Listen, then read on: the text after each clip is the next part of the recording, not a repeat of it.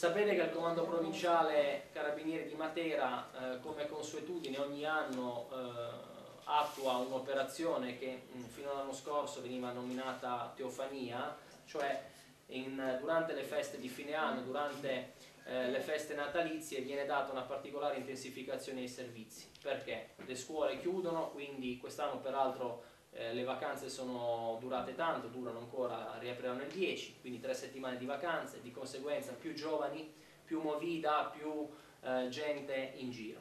Sapete che il nostro territorio è un territorio fatto anche da persone che sono emigrate, che quindi approfittano delle feste per tornare. Questo non lo dico a caso perché poi quando andremo ad analizzare l'attività operata dalla stazione di Gorgoglione capiremo perché. In ogni caso è stato molto capillare perché in effetti la stazione di Gorgoglione, unitamente anche alla liquida operativa della compagnia dei Pisticci, niente, abbiamo attuato delle, delle informazioni, abbiamo assunto delle informazioni nella fattispecie delle, dei, dei, di questi giovani che lasciano il paese perché il paese è piccolissimo per poi eh, venire durante le feste di Natale.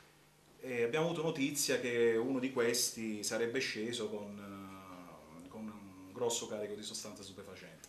L'abbiamo seguito per alcuni giorni e non ha dato quei frutti che noi volevamo, però poi il giorno uh, 31 praticamente l'abbiamo seguito e il giorno 1 poi abbiamo operato perché?